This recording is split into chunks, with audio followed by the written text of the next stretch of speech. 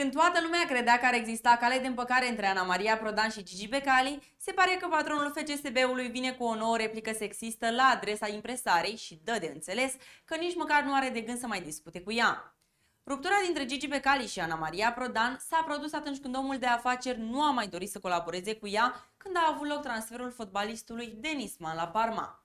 La acea vreme, Ana Maria Prodan a răbufnit și și-a spus punctul de vedere, iar Gigi Becali a făcut acuzații dure la adresa ei și a lui Laurențiu Reghecanf. Atunci când a fost întrebat dacă are de gând să se împace cu Ana Maria Prodan și să șteargă cu buretele toate neînțelegerile dintre ei, Gigi Becali a afirmat că nici măcar nu se gândește la acest lucru și că nu mai există cale de împăcare. Mai mult decât atât, celebrul afacerist a subliniat că nu are nevoie de Ana Maria Prodan în ceea ce privește transferurile pe care le face. N-am de ce să mă împac, nu vorbesc cu femeile.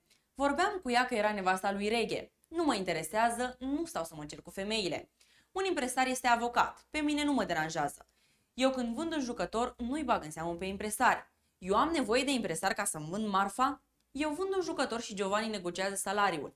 La mine tot timpul nu se bagă impresarul la club, a declarat Gigi Becali.